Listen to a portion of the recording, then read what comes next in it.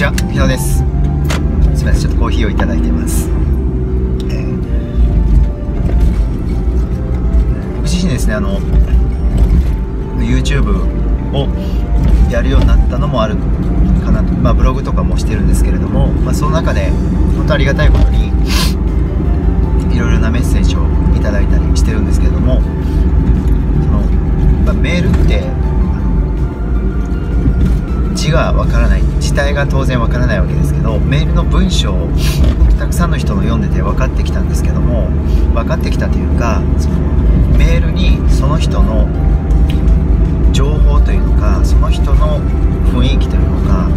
人間性っていうのが出るなっていうのを感じているんですね。で多分これは誰もが感じてることだと思うんですけどメールの文章ってその中に、メールの文章全体からの人間性って分かるなとやり取りしてると特にそうなんですけども、ま、その人のそのちょっとした言葉遣いとかちょっとしたそうその表現とかによってその人の性格とか、え性質っていうのがなんとなく分かるなっていうのをですね感じてきています。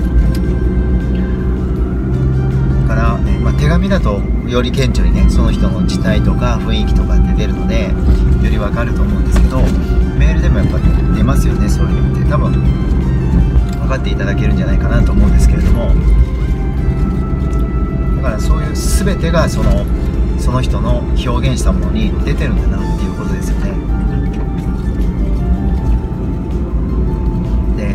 ろんな方を見てて僕がこう学ばせていただいてるか、えいただいてる方とかも見ているとそのすごくこの方は、まあ、僕が言うのもおこがましいんですけれどもこの方はやっぱすごくこれから伸びていくなっていうふうに思って見てると結構あのその通りになるっていうかその通りにもっと伸びていかれるんですよね。で、まあ、これは多分見る人が誰もが分かることだと感じ取ってることだと思うんですよね、まあ、その人の今たとえ有名でなくてももうその波動が出てるんですよその時から。だから僕たちはそれを見てあこの人はもっと成功する方だなとか分かるわけですよね。でそういうのが僕も結構見ててあこの人なるだろう伸びるだろうなっていうかすごいだろうなと思ったらやっぱそうなっていくしあのその人の状況っていうのはつまりどういうことが何が言いたいかっていうとその人の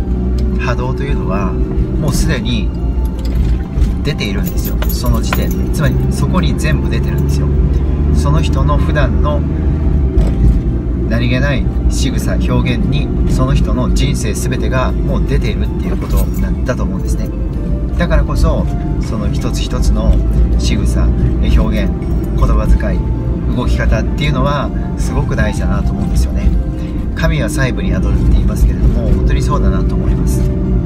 そういうところ一つとってその人の人間性が出てしまうんですよね。だからどんなに優れた人格を装ってたとしても車の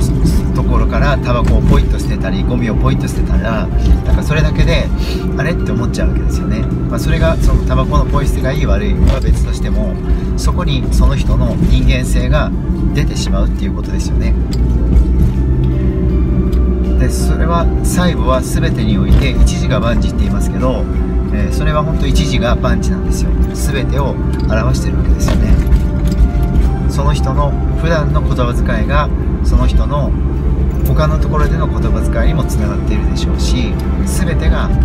連動してる。そういうことをですねちょっとね思いました。と言いながらちょっとグダグダ喋ってしまいましたけれども全てにその人の全てがこの一瞬に出るということだと思います、え今回は以上になります。ありがとうございます。